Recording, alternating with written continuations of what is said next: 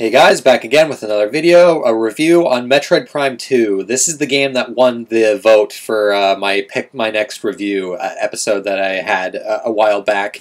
And yeah, uh, 17 hours later, uh, I finished the game, and man, this game, I, I am so conflicted on this game.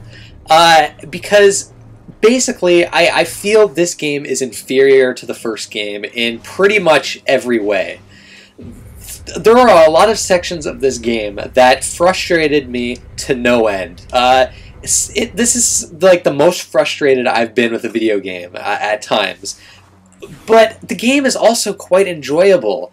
Uh, I won't deny that most of my time I, I, spent with this game, I you know, I, I was enjoying it. I, I think the game is still good. It's just highly flawed and we'll we'll get to those flaws. I, I think it's still worth playing if if you're a fan of, of the series and you for whatever reason haven't played this game. But I can't help but feel disappointed, uh, seeing as that uh, Metroid Prime, the first one, is my favorite Metroid game. I thought that game was amazing, uh, but uh, th this game just is kind of disappointing because I, I think it's kind of a a poor sequel.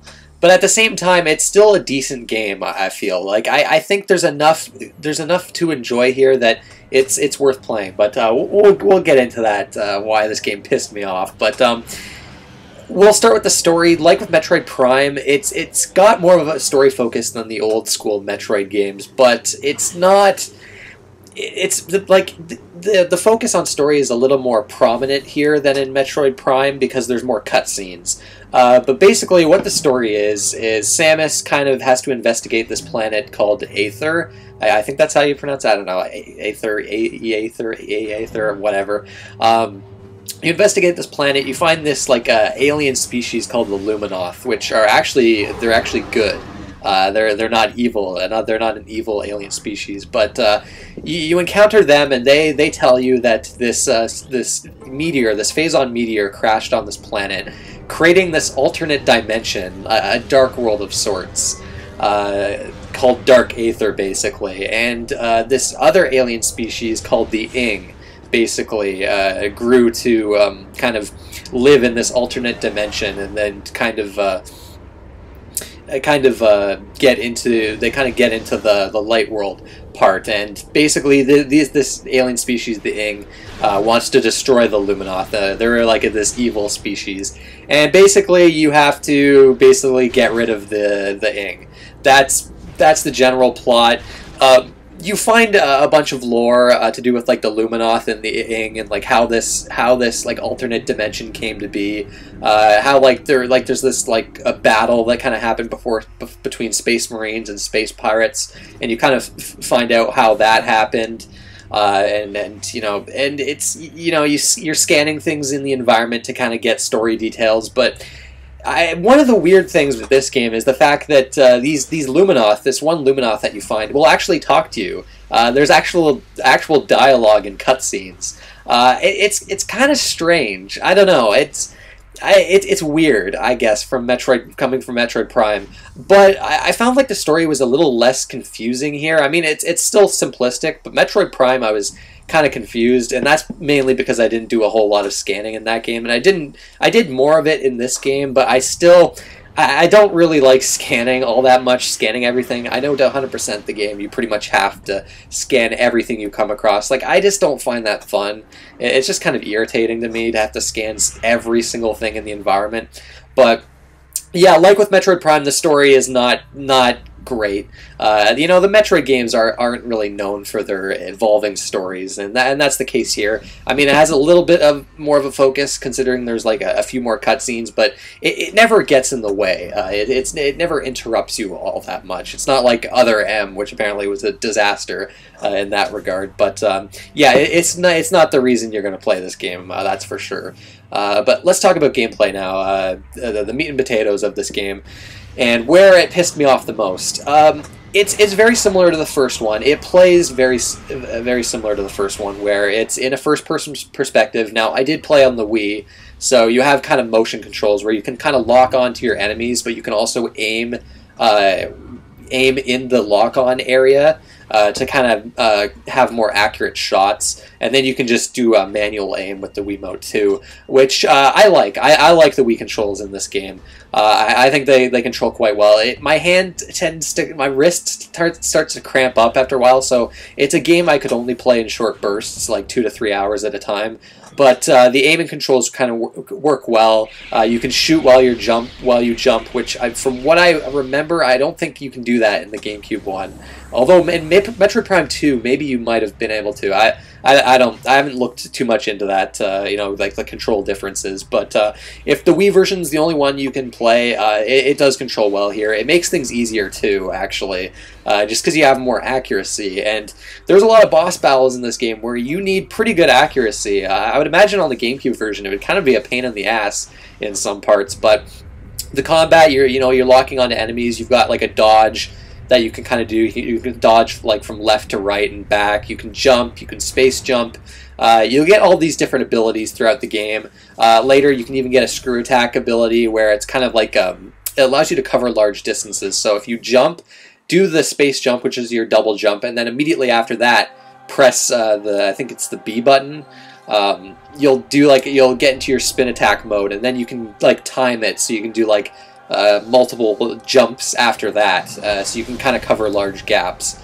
Um, you can uh, you, there's more ball sections like Metroid Prime where it turns into third person, and you you know you're rolling this ball along with the analog stick. Uh, it, you can get a boost for that too.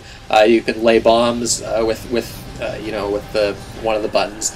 I mean, it's it's essentially the 2D Metroid games transferred into 3D, and it really works well. It's it's like with Metroid Prime. This game is incredibly immersive. I find like it it's more immersive in the first person perspective uh, compared to like the 2D Metroid games. And there's like all these cool little details, like if um, like if you shoot something and the uh, like your charge beam bounces off something, uh, you'll see Samus's kind of like reflection in the visor, uh, which is like this cool little touch. Uh, you know, like of course, scanning everything. You have different scan visor modes that you can activate. I mean, it generally controls and plays the same as Metroid Prime One. Uh, the combat is pretty fun. It's not the best ever, but I, I actually probably prefer it to the combat in in the 2D games because I, I just like having you know a, a, 3D space for you to, to move around in, and the enemies have all sorts of different patterns. Um, it, it's still got the, uh, that annoying thing from Metroid Prime 1 where a lot of times when you're backtracking through these environments, enemies will spawn in and the doors that you need to progress to the next area will lock until you've killed the enemies in the room you're in. Now, it doesn't do this all the time, but sometimes it does, and that, that can be a little frustrating, and it's one of those things where uh, later in the game, once you when you're backtracking through areas where you've already been and there's enemies, all the like pretty much every time I'm, I'm just like okay I don't want to fight these guys I'm just running past all of them because uh, just it just it just feels like a, a, waste of time to me so it still got that problem from the first game but um, it generally plays the same uh, I guess I should talk about the differences uh, and the big difference is the Dark World, uh, like I mentioned in the, in the story section. Uh, very, very much inspired by Zelda: Link to the Past, but I feel like it's not implemented near as well uh, as in that game.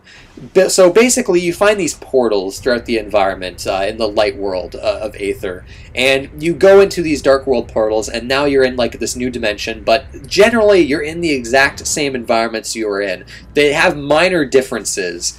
Uh, and you might do something in the dark world that will change something in the light world. But I was surprised at how like they they didn't use this too much. Like there's a few puzzles where you might do something in the dark world and it will change something in the light world, but it's it doesn't happen as as often as you would think. Uh, they don't get as clever as you would expect uh, with with that concept. Uh, but with the Dark World, the environment is pretty much the exact same. The color palette is changed. Everything's like bluish purple. And there's now a poisonous environment where your health slowly drains. And this is the thing that turned me off of the game when I first played it all, all those years ago back on the GameCube.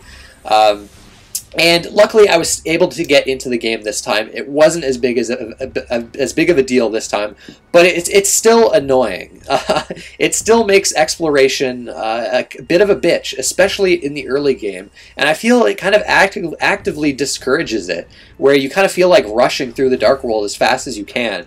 Uh, but at the same time, you can't because you actually you have to find all these keys. And I'll talk about the structure of the game a little bit later, but uh, for now, we'll we'll stick with the Dark World here. So in the beginning of the game, this the Dark World damages you so fast, it's ridiculous. And the, they you you basically so that you don't die, they give you these these health points, like these kind of crystals that you shoot. Uh, some of them you shoot, some of them are static, where they kind of have like these orbs surrounding them. And if you're in, if you're standing in this area, your he, your health will slowly regenerate.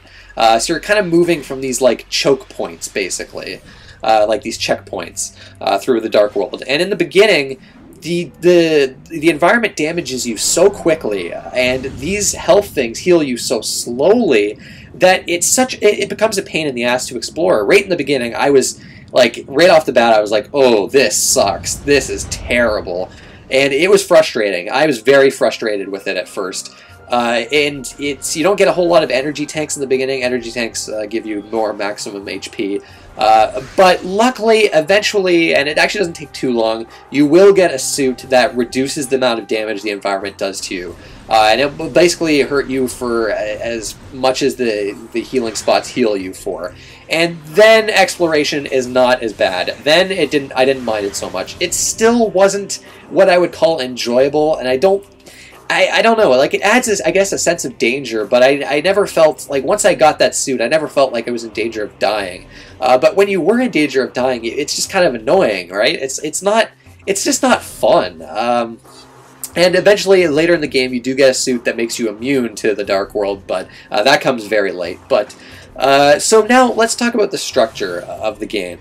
And basically, you kind of have like a, a, hub world called like the Temple Grounds, and you have different environments that connect uh, to this temple to this Temple Grounds area. Uh, you have the Torvus Bog, uh, the Agon Wastes, and then the Sanctuary Fortress. And basically, you, you basically the structure of the game works like this, where you go to the Temple Grounds, then you'll go to the Agon Wastes. This is this is your first area of the game. Uh, you'll explore the Light World there for a bit, kind of like um, uh, charting out your map. Uh, and then you'll eventually get to the this energy controller uh, where the Luminoth are. And they'll basically tell you that, oh, in this area, the Agon Waste, go to the Dark World here and find three keys and then go to the Dark Temple in the Dark World of the Agon Wastes and use those three keys uh, to get to the energy controller and restore that energy to the Light World. So you're gonna, from that point, you're gonna go to the Dark World. You're gonna find the three keys, which can be anywhere. And to get a lot of them, you're gonna get, have to get a new ability somewhere. Uh, and you're always unlocking new abilities, and, and, you'll have to backtrack to previous areas to get uh, older abilities, and then go all the way back to other areas. So you'll find these three keys. Uh, and it, sometimes it can take a while, and they're kind of man, some of them are really well hidden. Uh, I had to use a walkthrough for a couple of them, but you find the three keys, then you go to the Dark Temple in the Dark World of the Agon Wastes, you'll fight a boss, then you'll get to the energy controller, you'll get the energy there, then you've got to go back to the Light World, go back to the Luminoth uh, in the Light World, return the energy there, and then you'll, you'll unlock the path to the next area uh, the Torvus Bog, and then you'll go to the Torvus Bog, and you'll do the same thing. You get another three keys. So it's it's a structure that basically makes it so that you have to backtrack through environments a lot. Now, I. I don't know. Uh, like, I feel like there probably is more backtracking in this game overall than Metroid Prime 1, and that had a lot of backtracking too. And it's mostly because of the Dark World. That you'll constantly be going through these portals, in and out, in and out, uh, watching these portal cutscenes, going back and forth between the two areas. That it gets, it, it gets pretty tedious. I'm not gonna lie, it can get really tedious. And then going to these energy controllers back and forth, getting the three keys, going through these environments you've already been. It's, you know what? There probably is more backtracking than the first game. Now, luckily, uh, it's alleviated a bit by uh, the fact that there's elevators that will connect the areas like uh, there'll be an elevator connecting Torvus Bog to Sanctuary Fortress, Sanctuary Fortress to Agon Waste, and, and vice versa. Which that that's a good thing. That uh, definitely cuts down on the on the potential backtracking, but it, it's still a pain in the ass, especially in the late game when they they do the they pulled the they pulled the same shit they did with the original game. Now, the original game has this fetch quest towards the end where you have to find a bunch of they're pretty much keys to to access the final boss basically and you have to you have to scour these environments that you've already been to, to and you you get these very cryptic hints where these things could be. So you almost you have to resort to a walkthrough, and it was one of the main complaints with the first game. Uh, if there was anything that people complained about with Metroid Prime, it was that. And they brought it back for Metroid Prime 2. Uh, they brought it back, and now I felt like it probably didn't take as long. I, I don't know why that is. Maybe because I used a walkthrough for every single one of them, but um, yeah, uh, towards the very end, you got to get. I think there's like nine of these keys that are all throughout the environments, uh, which that's pretty frustrating. That, that it's just padding. Like it, I don't think it really adds nothing, adds anything to the game. Uh, you know, it can be fun to revisit previous areas with your abilities and get like a missile expansion or like an energy tank. And I, I, I got all the energy tanks. Uh, but I, I, to get these keys, it was just kind of annoying. Um, so that added like an extra like hour to the game that didn't really need to be there. And overall, the game is longer than Metroid Prime uh, because of all this dark world back and forth and the and the backtracking and the keys that you have to get. Uh, even though there's not that many locations, there really isn't. Uh, but it, it, took me 17 hours to finish. So I mean, and that's compared to 13 for Metroid Prime. So yeah, it's a, definitely a, a longer game. So the, yeah, the structure of the game is a little. I, I don't mind it too much, but I, I think the keys, like the three keys, they kind of cut all that stuff out and, and replaced it with something else. I, I don't know exactly what they what they should have done there. Now, not to say there are that the like the level design is bad in this game, because the level design overall in this game is actually quite good. Uh, can, all, all, things considered, uh, it's about as good as the first game. I, I would say, maybe maybe a little worse. Uh, there are some clever little puzzles uh, with, with the dark world and, and the light world. Uh, exploring these environments is still really rewarding. It's really fun. Uh, it's always uh, it's always great when you find a new power up uh, with with your new skills. Um, and yeah, it's like the, the, level design is overall quite good, especially the Sanctuary Fortress at, at the end. it's the very last location you go to. It's visually it's very striking, and there's a lot of there's a lot of cool puzzles and, and enemies there to, to fight. Um, the enemy design in general is is pretty strong too. I, I there's there's a there's a lot of cool enemies, but um, okay, we'll we'll we'll start talking about the frustrating parts of this game, the the parts that really pissed me off. Okay, so there's there's two things. First, I'll, I'll talk about the bosses. Now, Metroid Prime 1 had a decent array of bosses. Now, they weren't amazing. I didn't think any of the bosses in the first game were amazing, but they were all decent to good. I didn't think any of them... I think the final boss was the only one I didn't like. Metroid Prime 2, on the other hand, uh, off the top of my head, there is maybe three bosses. There's three bosses in this entire game that I liked. Well, four. One of them was okay. A couple of them were okay, but there's only really three that I liked. And yeah, that's that's a big problem. Uh, there's quite a few bosses in this game, and they're all fucking garbage. Like so so far inferior to the ones in Metroid Prime. Now I got to talk about a few of them here. Now I'll start with the positive. One of the bosses I liked. Um, the first one is Dark Samus, and you will encounter Dark Samus uh, multiple times throughout the game, and it's always just like this one-on-one fight. Uh, there's always you can always always easily hit her. She almost never has invulnerability periods. Uh, it's a very fast fight. Uh, dodging left and right behind all these pillars, dodging her attacks, popping out and, and charging up your beams and, and, and shooting, shooting Samus. Uh, those are, are really fun fights. Uh, then you have Quadraxis, which is kind of like this giant mech boss uh, way later in the game. Uh, many different in interesting phases with that boss. Uh, very interesting ways to get your health back throughout that fight. Uh, and it really tested your abilities uh, that you kind of got. So that was a fun fight. I liked that. Maybe a little long, and the bosses in general are way too long in this game. Like, they just take way too much. they're, they're bullet sponges, basically. but a Quadraxis I liked. Probably my favorite boss in the game. Uh, and then the final boss, surprisingly, is good. Uh, usually, I don't like final bosses in games. I feel like final bosses are always frustrating, but in this game, the final boss was intense, multiple forms. Uh, it was always fun to figure out, and then you had a very intense uh, timed battle of sorts at the end. But um, and that it really tested your abilities too. But uh, the final boss I enjoyed. But uh, yeah, that's it. The rest of the bosses. Let's let's talk about the terrible bosses and. Uh, the Morph Ball in general. Let's talk about the Morph Ball actually, because the the, the developers of this game were are obsessed with the Morph Ball. I swear, almost half of this game I felt uh, and it was like morph ball sections where you you have to like follow along these tracks and do like these obstacle courses with your morph ball and like some of them are cool but i found it just got really old like by the end of the game anytime a morph ball section came up i was like oh not again like it's just there's so much of it uh, and they'll even have bosses in these morph ball sections and uh, uh, two of them actually, and they're both incredibly annoying. But we'll talk about one of them, and that's the Spider Guardian. Now, this boss is I, now I'm not I'm serious here. Probably the worst boss I've ever fought in a video game. I, am I'm, I'm not even kidding there. Like it is fucking infuriating. I almost quit the game because of this shit. Because uh, I died the first time. Luckily, I got him the second time. But you basically this boss, you kind of follow him along this this kind of like obstacle course type track, right? And you kind of have to lay bombs uh, in his path, and you have to like hit him like four times in a row until he gets into this mode where he's like flashing green. And then you gotta get your orb into the, these little uh, like energy things, like the energy platforms or whatever, where you kind of get your ball inside them, and then you uh, you you lay your bomb in there and you destroy it, uh, and then it, you'll like kind of uh, like raise or lower a barrier. Uh, and then he'll kind of uh, follow this track and get to like this shocking thing that kind of damages him, and then you'll move to the next part of the obstacle course. So sounds sounds it doesn't sound terrible, right?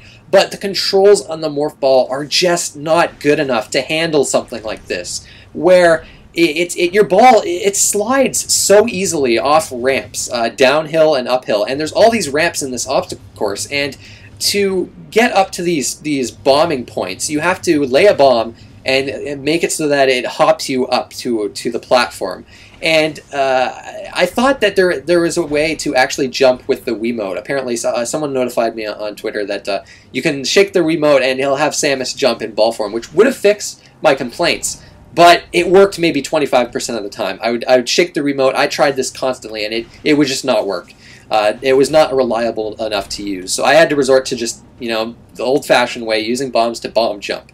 And there's a lot of these sections where you got to bomb jump up to this bomb platform, but it's like on top of a slope that slopes down on both sides. And it's so easy for the morph ball to fall back down. So you fall back down, and then you got to boost your way back up there, and your timing has to be perfect because uh, you have basically a time limit uh, to get to these bombing points before this enemy gets its shields back. The Spider Guardian gets its shields back. And the, the, the, later parts of this obstacle course, you have to do three of these bombing platforms in a row in a specific order, and you have almost no time to do this. You're constantly falling off these slopes. You, he's hitting you constantly because it's very hard to dodge him.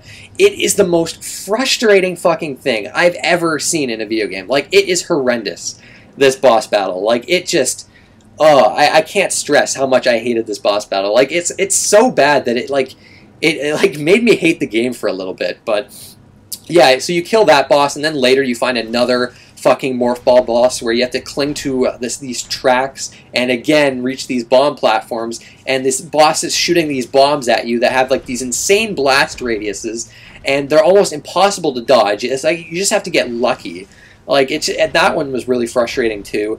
Uh, you have a bunch of these bosses that have invertibility per- periods that last way too long, uh, and, just they're long, tedious, drawn out fights that just aren't fun. Uh, the Boost Guardian, which I heard was really annoying, was actually not that bad, but it took forever and it was not fun at all.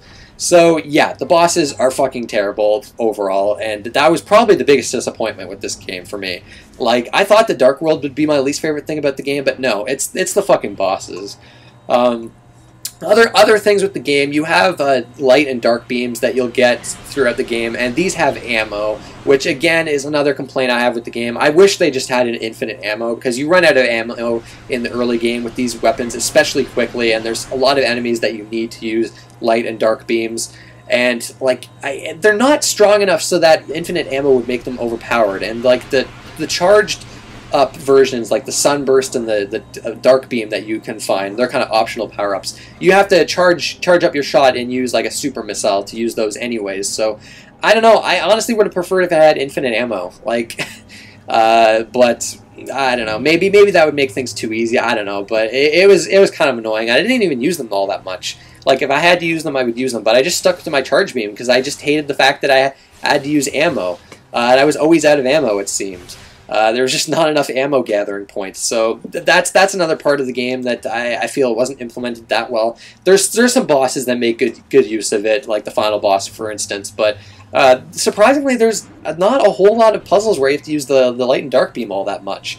Uh, but the, the puzzles that you generally find uh, you find are, are generally quite good. And like I said before, the level design is quite good. The game's still kind of quite rewarding, but it's got some frustrating elements, man. Like like the Dark World was definitely not, to me, in my opinion, wasn't implemented all that well. Um, and yeah, the bosses are definitely the the low point of this game. Um, so yeah, I, I come from the gameplay. I come away kind of uh, mixed on it because I feel like it's inferior to Metroid Prime in pretty much every way. I, I, in fact, I don't know what this game does better than the first game. I I, it, I mean, it's probably more challenging overall. Like, it's, you know, the exploration can be a bit more challenging, the puzzles are a bit more challenging, but, like, I think it's just more irritating, really. Uh, and I've heard the Wii version actually toned down the bosses. Apparently they were harder in the GameCube version, which is fucking, I don't, I don't, that's crazy to me, but, uh, yeah. There's there's still a, a, lot to like with this game, and if you're a Metroid fan, I think there's enough here that you're you're gonna enjoy it. But just be warned, there's some really frustrating shit in this game, and it, it's it's just kind of a poor sequel, really. Uh, visually, um, it, it, looks pretty similar to the first one. It's probably one of the best looking games on the GameCube. On the Wii, I'm not sure, but um, the art design though is actually quite good. Um, the Torvus Bog is, is a little boring. It's kind of your, your, your swamp water type area. But uh, the Sanctuary Fortress, like I mentioned before, looks amazing. It's like this really cool alien fortress. It's it's hard to describe the look of it, but it, it's really neat. Uh, and there there's like this great sense of verticality to it, uh, and and to the game in general. Uh, that, that's really quite quite well done. Uh, like I said, there's cool visual effects like Samus's reflection in the visor. Uh, the game's just very immersive because of this this first person viewpoint. But um, yeah, it, it still looks pretty decent, you know, for being a, a, GameCube game. I mean, it's it's it's fairly old at this point, but it, it looks quite good. Uh, I you know, it's def definitely a good looking game for sure.